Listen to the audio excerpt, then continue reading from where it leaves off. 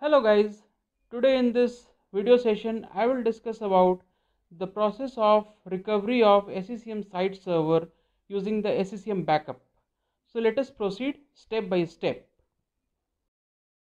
So starting with the steps, prepare new SCCM site server, install the OS and patch it fully, then join to the domain using exactly same name as previous SCCM site server.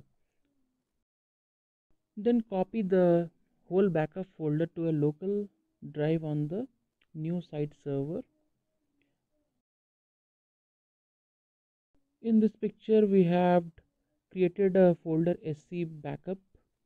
Then from the first folder that is cd.latest launch the setup file. Then after launching the setup file this screen will appear. Just click on the install and proceed then in the next screen just click the next. In the next window just click on the option recover a site and proceed next. In the next window just click on the option recover this site server using an existing backup. Also the second option recover the site database using the backup set at the following location. In both the blank spaces, put the same path where you have created the backup folder. Then after clicking next, automatically by default the option of recover primary site will get selected.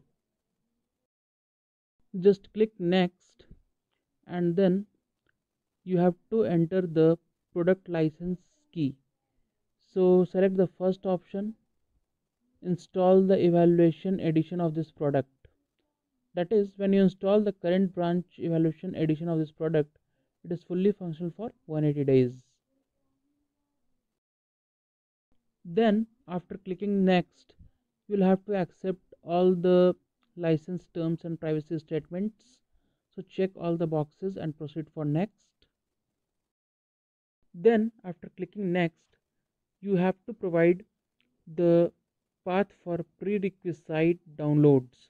If the prerequisite files are already downloaded then you just provide the path and click next.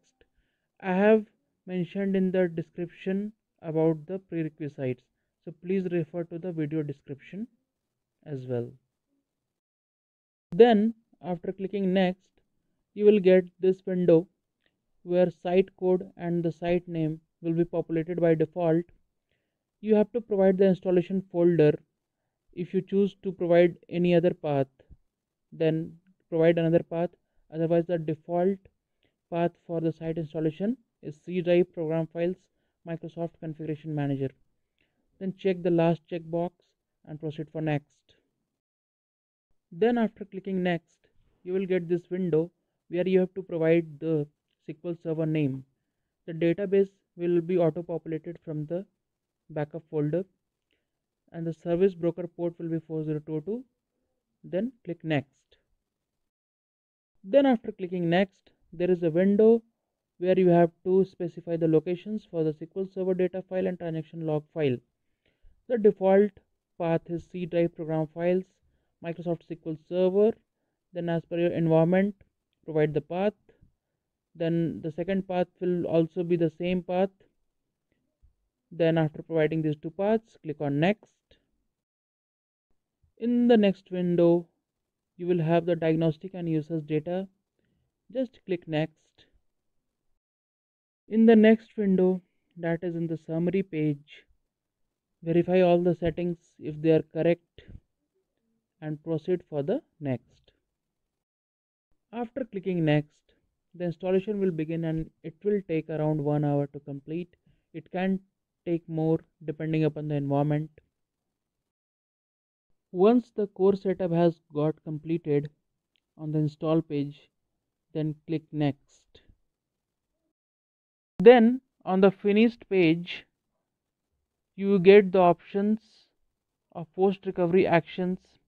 Just complete the post recovery actions after launching the console. and this is how we complete the site recovery from the existing database backup.